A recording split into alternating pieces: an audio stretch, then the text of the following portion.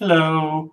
Today is going to be a little different. I'm going to show how to include additional libraries in a C++ program, particularly OpenGL-based libraries like GLU and glut.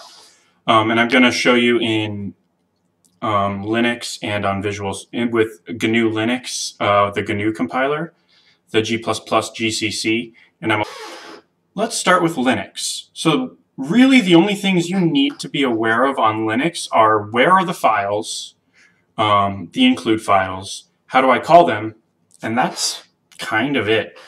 Um, there's a command you can run. So you're going to, it depends, but the most common way to do it, so I'll show you with Python. I've done this before, so you'll type python 3 dash config and you're going to want to type two things. The first thing you're going to type is C flags for compiler flags, and it will print all of the flags that um, the library recommends. And then the next, including this up here, which is telling you where that include statement is. Um, and then instead of C flags, let's go with LD flags uh, which are the linker flags, and it's going to list all the linked recommended flags.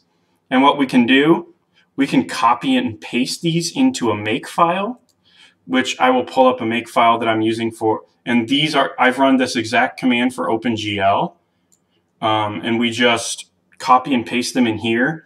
We need to make sure that the flags are in between um, any optimization and warning flags, and um, so basically, once we tell it what standard for C++ we're using, we have all of our linker flags and all of our include flags. Then we hit our optimization flags, any warning flags, and then what we're compiling and what we're what the output's going to be. That's it. That's how you do it on Linux.